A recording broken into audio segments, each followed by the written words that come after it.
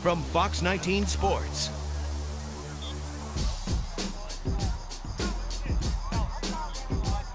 This is the Bengals Training Camp Special. Sponsored by Ray St. Clair Roofing and MetScore.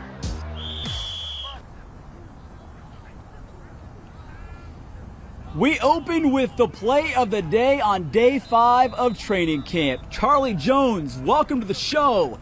His second year as a Bengals wide receiver and making a splash play at training camp. My question for you as the show opens are you jonesing for some more Bengals coverage? We got it right here, only on the Bengals flagship TV station.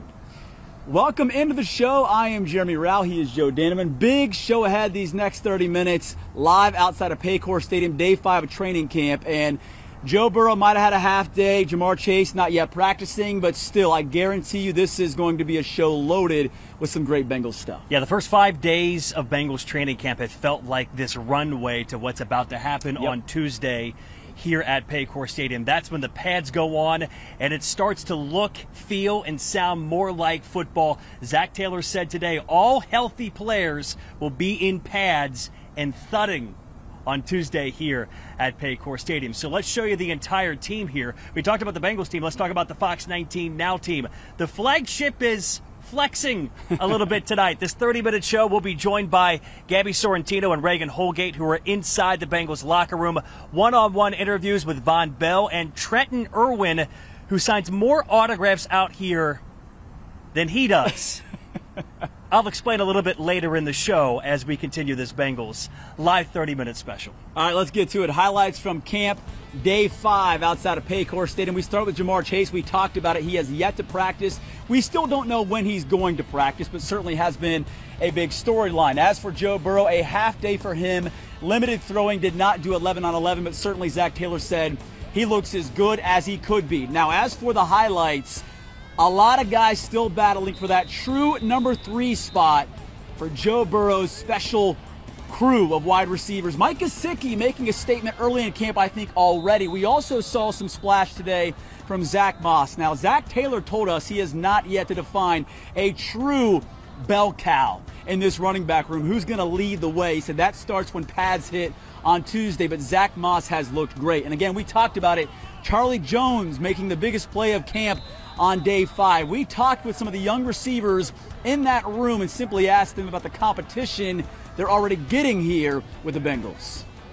The more competition, the better, especially for a group like us. Like, um, we're competing and no one's taking it the wrong way. We're pushing each other, uh, and we have a lot of special people in the room. So I think it's just bringing everyone up um, and just being competitive and playing football. Tee and Ja'Marr have been somewhat limited. Ja'Marr hasn't practiced yet. Tee's been somewhat limited. But how much can you glean from them? Just talking with them, how helpful has that been already? Uh, it's good. You know, um, it's kind of been a good thing. Uh, you know that Ja'Marr has also been able to sit out and watch me more. Um, you know, because I feel like you know if he was practicing, you know, he probably wouldn't see everything that you know all my flaws and or anything that he wants to correct. So, but I feel like as of right now, you know, um, you know he could he could watch every rep and you know, he can come to me after every rep. You know, sometimes he does. Uh, you know, after every other rep, he'll come to me and say, "Hey, this and this and that." So, uh, I, I, it's pretty dope. But um, same thing with Tee. Uh, Tee pays attention to when he's not in, and um, you know, he'll say some stuff to me as well. So, just learning from those guys is, you know, um, I feel like it'll take me a long way. And Jermaine Burton told me he already feels like a Swiss Army knife the way the Bengals are using him, and a lot of excitement around Jermaine Burton and what he could be even as a rookie for this team. And I hope you noticed the jersey behind him inside his locker. Yeah. Look, the Bengals will move into their new locker room. I say new, it's their old one. It's revamped, and I keep hearing great reviews on this.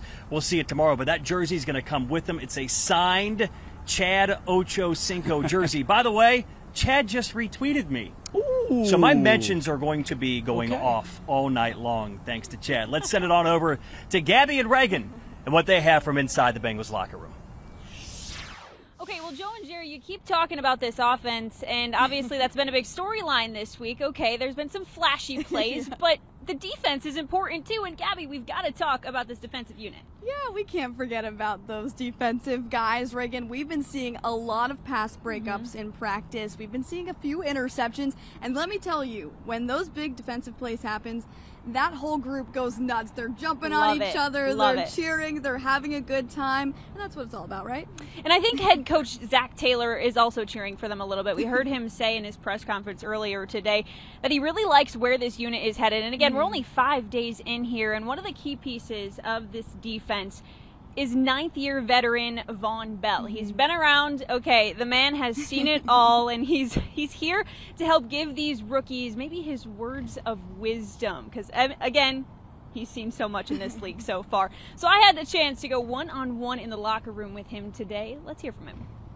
Week one of training camp in the books. Just kind of tell me how you're feeling, how things are feeling out there. I'm feeling good. Um, a lot of great communication. A lot of guys making plays on the ball. Young guys are growing up before my eyes, and you're just steadily seeing the, the constant progression and uh, the right the right right steps in the right places to the uh, to the place we want to get to. And uh, we just keep on getting better each day. We touch the field, and as a unit collectively. And you keep saying those young guys growing up before you guys. Do you feel like you're kind of the old guy out there, giving them your words of wisdom, maybe? I think so. I got a couple grays in my beard now. It's like, dang. you know, father time did come. So, uh, yeah, everybody keep on asking how I think, how I look at things, how I view things, and uh, a lot of guys that play a lot of ball on the side on the side of on our side of defense, um, they always always putting in their two cents too. So we're always picking off each other and um, off each other's brains and knowledge of the game and experience. And so, and coaches ask what we see too. So how we feel, how we do things out there. So it's a it's an open collective room for sure. And I feel like the biggest storyline this week has just been the rookies obviously getting their reps in. What are you seeing from the young guys uh, early on here? Oh, I'm seeing a lot of constant, constant improvement for the young guys. The, the urgency, the communication, and playmaking. And uh, those guys just really just want to go out there and just stamp their name on this league, and they're hungry to make plays, and uh, and they just trying to see what they can do and get better every day. And uh, that's a great thing. That's a great thing and great sign, especially being coachable, and just being open to the coaching and, and, and collective criticism. So well, that's how you get better and finding that one percent, and just keep on developing as yourself as this league. How about your biggest takeaways from your defensive unit so far? biggest takeaways? Right now uh our communication is great right now. Um pre-snap and post-snap and we're just starting to uh, feel off each other and uh, play off each other. So that's the biggest thing right now for sure. How's it feel to be back? it's great. It's a blessing you know? Who they